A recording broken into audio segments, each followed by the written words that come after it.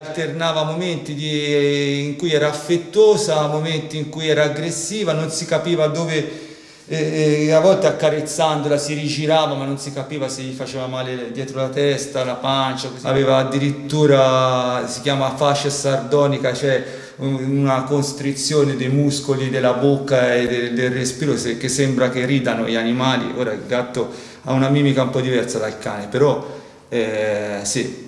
era proprio i sintomi della rabbia secondo me. È stato il veterinario aretino Paolo Barneschi il primo ad ipotizzare un caso di rabbia quando si è trovato di fronte al gatto che poi è risultato affetto dall'issavirus, un raro morbo in realtà diverso da quello della rabbia classica che ad oggi era stato riscontrato solamente una volta al mondo nel 2002 su un pipistrello del Caucaso. Siamo messi proprio a cercare quale potesse essere la causa di, di quel comportamento e io, a me mi veniva in mente solo la rabbia, non mi veniva in mente altro, nonostante io non l'abbia mai vista in vita mia.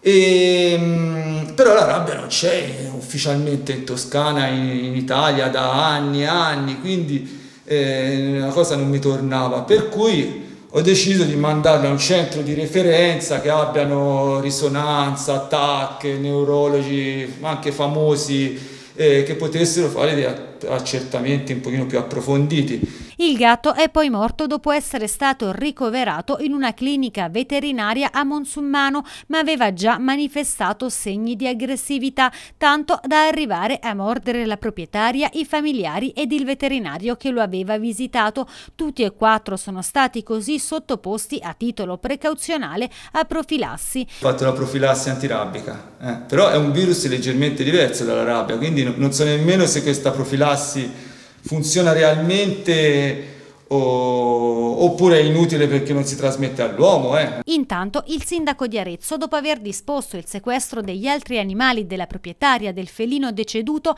e dopo aver imposto l'obbligo ai cani di passeggiare sempre al guinzaglio anche se muniti di museruola, ha emesso un'altra ordinanza immediata che vieta l'accesso al tombamento del torrente Castro. Non credo che ci sia un grande, una grande richiesta dei cittadini di andare lì sotto, ma noi li abbiamo vietato espressamente perché, perché nel tratto tombato del Castro c'è, ormai è noto, una eh, numerosa, una cospicua colonia di, ehm, di, pipistrelli e siccome il virus, il lissavirus al gattino è probabilmente arrivato da un pipistrello, perché l'unico caso precedentemente a questo è stato isolato nel 2002 nel Caucaso a carico di un pipistrello, si è ritenuto opportuno di ehm, diciamo, vietare l'ingresso a, a questa infrastruttura dai due lati. Da domani, infine, i ricercatori dell'Istituto Zooprofilattico Sperimentale delle Venezie eseguiranno uno screening sui pipistrelli presenti in una colonia in città. Per rendersi conto se questo fatto è un, fatto isolato, cosa peraltro molto poco probabile, o è un fatto endemico, cioè se la popolazione di pipistrelli che vive ad Arezzo è eh, affetta da questo virus e quindi è in grado di trasmetterlo poi agli animali.